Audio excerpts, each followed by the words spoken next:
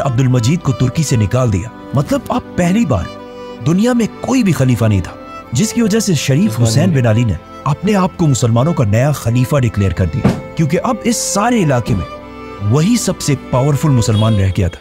Now France ये सब देखकर बहुत टेंशन हेलो एवरीवन अस्सलाम वालेकुम मैं हूँ जावेद और आज हम रिएक्शन करने वाले हैं द कोहिस्तानी के एक और न्यू वीडियो पे जो है द लास्ट खलीफा खलीफा क्या होता है, ये मैं बता दूँगा इस पहले, कि जो इस्लामिक देश, इस्लामिक कंट्री रहता था, उसका एक खलीफा रहता था। जैसे प्रॉफिट मोहम्मद सल्लल्लाहु अलैहि वसल्लम के जाने के बाद मतलब उनको संभालता था, उनको दे, जो सारे मुल्क को देखता था, उनके एक खलीफा होते थे, वो बताते थे जैसे जैसे, वो उसी तरह वो लोग चलते थे और करते थे मैनेजमेंट करते थे, उसको खलीफा कहा जाता था।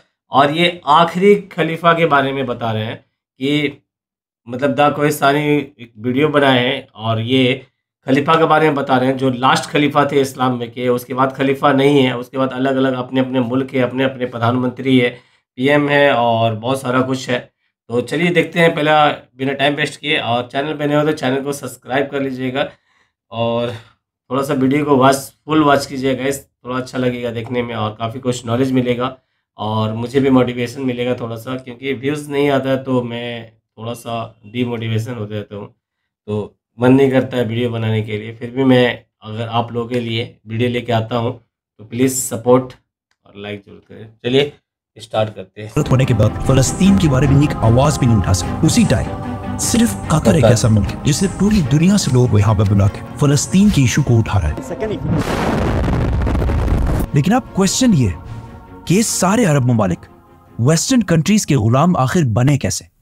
असल में आज से ये बात तो सही है गैस मैं यहाँ रुकना चाहता हूँ कि फ़लस्तीन के बारे में कोई बात करने के लिए राज़ी नहीं है और जहाँ तक आप लोगों के ऊपर जुल्म ही हो रहा है, आप लोगों के गलत गलत मतलब आप लोगों के साथ हो रहा है।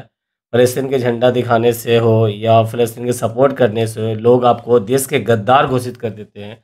देश को आप गद्दार कहला जाते हैं कि अगर किसी को अगर जुल्म हो रहा है किसी के ऊपर, इस्लाम भी कहता है कि किसी के ऊपर अगर जुल्म भी हो रहा है और उसको आप बर्दाश्त नहीं कर सकते तो उसके ऊपर आवाज़ उठाइए, चाहे कोई भी कौम हो, मुस्लिम हो या नॉन मुस्लिम हो, कोई भी कंट्री हो, अगर जुल्म हो तो उसके खिलाफ बोलिए, नहीं बोल सकते तो उसके में गम अंदर से महसूस कीजिए कि हाँ वहाँ जुल्म हो रहा है। और करबला में भी वही चीज़ हुआ था जो आज चौदह सौ छियालीस, चवालीस, छियालीस साल से मतलब चला आ रहा है और लोग गम मनाते हैं। उनका मतलब जुल्म जो हुआ था, उनके बारे में याद करते हैं, उनका खिलाफ मतलब जो जुल्म के खिलाफ आवाज़ उठाते हैं।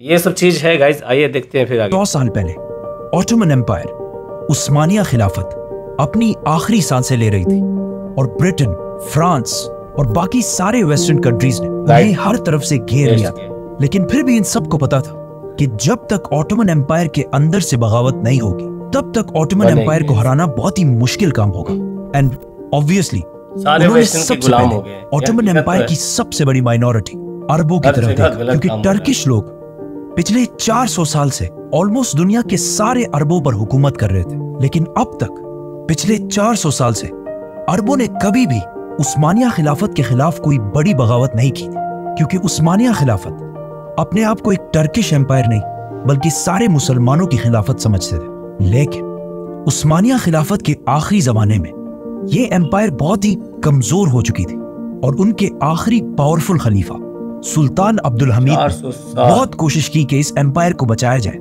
लेकिन अपने आखिरी जमाने में उस्मानिया खिलाफत इकोनॉमिकली बहुत ही कमज़ोर हो चुकी थी जिसकी वजह से तुर्की के अंदर खलीफा के खिलाफ एक ऑपोजिट पार्टी यंग टर्क्स बहुत तेज़ी से आगे बढ़ने लगे और आखिर उनकी पावर इतनी बढ़ गई कि उन्होंने मिलकर खलीफा अब्दुल हमीद को तख्त से हटा दिया और उसके भाई महमद द फिफ्थ को खलीफा बनाया जो सिर्फ़ एक नाम का खलीफा था। और पावर्स उसके पास कुछ भी नहीं थे। सारी पावर सिर्फ़ और सिर्फ़ यंग टर्क्स के पास था, जो बिल्कुल एक एंटी इस्लामिक और नेशनलिस्ट पार्टी थी। मतलब उनका मानना था कि तुर्की की सारी कमजोरियों की वजह इस्लाम और बाकी माइनॉरिटीज आर्मीनियंस ग्रीक्स और सबसे बढ़कर अरब है। इसीलिए यंग टर्क्स खलीफा के होते हुए भी तुर्की में अरबी सीखने पर काफ़ी हद तक पाबंदी लगा दी, जिसकी वजह से अरब और तुर्कों के दरमियान हालात बिगड़ने लगे और इसी टाइम का ज़बरदस्त फ़ायदा उठाकर ब्रिटिश सीधा अरबों के पास गया और उन्हें कहा कि तुम ये तुर्कों की गुलामी क्यों कर रहे हो? तुम तो इतनी अजीम कौम और अरबों का अपना एक आज़ाद मुल्क होना चाहिए और तुम्हारी इस आज़ादी को हासिल करने में हम ब्रिटिश तुम्हारी मदद करेंगे। और अंग्रेज़ों को पता था कि अरब उनकी बात तभी मानेंगे जब उनके पास अरबों में से ही एक बहुत स्ट्रॉन्ग लीडर मौजूद हो। और जब वो लीडर ऑटोमन एम्पायर के खिलाफ बगावत करे, तभी सारे अरब हमारी बात मानेंगे। और कुछ ही अरसे में, उन्हें इस काम के लिए सबसे ज़बरदस्त बंदा मिल गया, जिसका नाम था शरीफ हुसैन बिन अली। अंग्रेज़ों ने इस आदमी को बहुत सोच समझ कर चुना था, क्योंकि शरीफ हुसैन कोई आम आदमी नहीं, बल्कि उनका ताल्लुक सीधा रसूलुल्लाह सल्लल्लाहु अलैहि वसल्लम के खानदान, बनु हाशिम से था, और वो आप सल्लल्लाहु अलैहि वसल्लम की बेटी, फातिमा के बेटे हसन रज़ी अल्लाह की औलाद में से थे। और सिर्फ़ यही नहीं, बल्कि शरीफ हुसैन का खानदान बनु कतादा पिछले 700 साल से मक्का को कंट्रोल कर रहा। था अंग्रेज़ों ने शरीफ हुसैन से वादा किया कि अगर वो उस्मानिया खिलाफत के खिलाफ बगावत कर और इस बगावत में बाकी सारे अरबों को भी अपने साथ मिला ले तो अंग्रेज़ उस्मानी खलीफा को हटाकर उन्हें मुसलमानों का नया लीडर बना देंगे और इराक से लेकर मिस्र इजिप्ट तक ये सारा इलाका उनके हवाले कर देंगे। ये सारी बातें जब शरीफ हुसैन ने मक्का के लोगों को बताई तो मक्का के लोगों ने उन्हें फुल सपोर्ट किया और इस तरह खिलाफत उस्मानिया के खिलाफ अरबों की सबसे पहली बगावत मक्का से शुरू हुई और आहिस्ता आहिस्ता बहुत तेज़ी से फैलती गई। ये सब 1916 में वर्ल्ड वॉर वन के दरमियान हो रहा था। मतलब ऑटोमन एम्पायर एक ही टाइम पर रशिया, ब्रिटिश, फ्रांस, ग्रीस, इन सारों से एक साथ लड़ रहा था और अब उसे अरबों से भी लड़ना था। और अरबों के साथ ब्रिटिश जैसे पावरफुल सुपर पावर की सपोर्ट भी थी। और अरबों को सपोर्ट करने के लिए उन्होंने अपना एक बहुत ही इंपॉर्टेंट एजेंट भी भेजा था जिसे आज लॉरेंस ऑफ़ अरेबिया के नाम से जाना जाता है as Lawrence of Arabia. Lawrence of Arabia. अरबों की ये बगावत इस हद तक ब्रिटिश कंट्रोल कर रहा था कि लॉरेंस ऑफ़ अरेबिया ब्रिटिश के एक आम से एजेंट ने सबसे पहले अरब पहुंचकर शरीफ हुसैन के तीनों बेटों का इंटरव्यू किया कि इन तीनों में से अरबों की इस बगावत को कौन लीड करेगा और फिर इन तीनों में से उसने फैसल को चुना क्योंकि उसे लगा कि फैसल में ब्रिटिश का वफादार रहने का सबसे बड़ा पोटेंशियल है। इस तरह कुछ ही सालों में फैसल ने ब्रिटिश की मदद से ऑटोमन एम्पायर से ये सारे इलाके छीन लिए। और अब 1918 में जब वर्ल्ड वॉर वन खत्म होने वाली थी उस्मानिया खिलाफत जो एक जमाने में इतनी बड़ी एम्पायर थी अब सिर्फ़ इतनी सी रह गई। अब मिशन पूरा हो चुका था और जैसा कि अंग्रेज़ों ने वादा किया था उन्हें शरीफ हुसैन को नया लीडर मान लेना चाहिए था।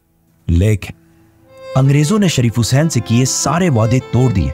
और आपस में बैठकर बेल्फोर डिक्लेरेशन साइन की जिसमें अरब के अंदर यहूदियों के लिए इसराइल बनाने का क्लियर प्लान था। यह देखकर शरीफ हुसैन को ब्रिटिश पर बहुत गुस्सा आया और उन्होंने फलस्तीन में इसराइल बनाने की सख्त मुखालफत की। अब यहाँ से हालात बिल्कुल चेंज हो गए क्योंकि पहली बार शरीफ हुसैन और ब्रिटिश एक दूसरे के सामने आए और इनकी दोस्ती आहिस्ता आहिस्ता दुश्मनी में बदल गई। इस सबसे कुछ ही अरसे बाद और आज से एग्जैक्टली 100 साल पहले 1924 में मुस्तफ़ा कमाल अतातुर्क की लीडरशिप तुर्कों ने उस्मानिया खिलाफत खत्म कर दी और आखिरी खलीफा सुल्तान अब्दुल मजीद को तुर्की से निकाल दिया। मतलब अब पहली बार दुनिया में कोई भी खलीफा नहीं था जिसकी वजह से शरीफ हुसैन बिन अली ने अपने आप को मुसलमानों का नया खलीफा डिक्लेयर कर दिया क्योंकि अब इस सारे इलाके में वही सबसे पावरफुल मुसलमान रह गया था।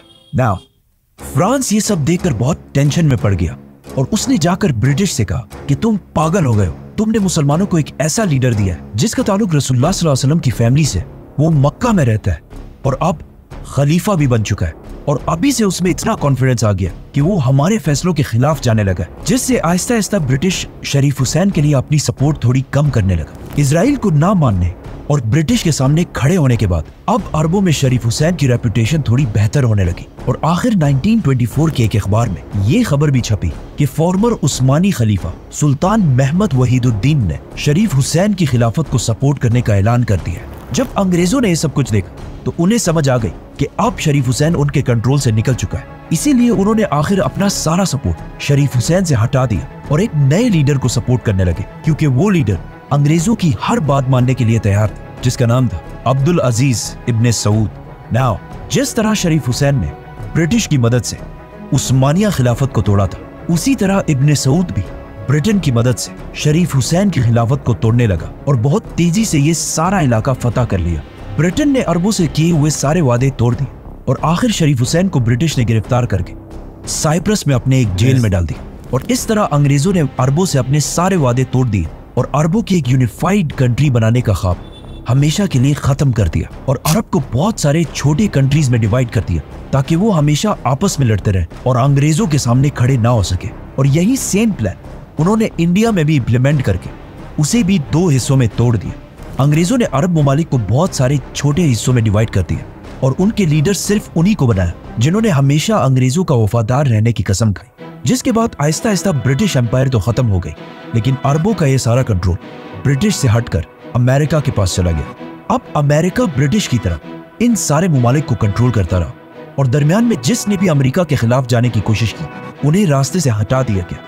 जैसे कि सऊदी अरब के किंग फैसल, इजिप्ट के मुर्सी, लिबिया के कदाफी और इराक के सद्दाम हुसैन, इन सबको अमेरिका ने बाकी सारों के लिए इबरत बनाकर छोड़ा है। इसीलिए आज चाहे जो भी हो जाए अरब कंट्रीज़ कभी भी वेस्ट के खिलाफ नहीं जाती क्योंकि इन सारे कंट्रीज़ को बनाया ही अंग्रेज़ों ने। है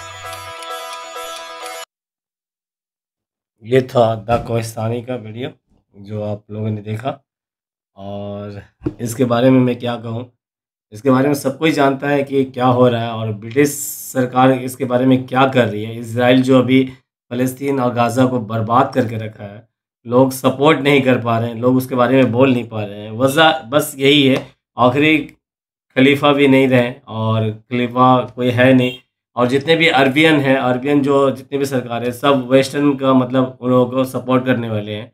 और आप देख ही रहे होंगे कि सऊदी अरब में क्या हो रहा है, मक्का, मदीना में क्या हो रहा है।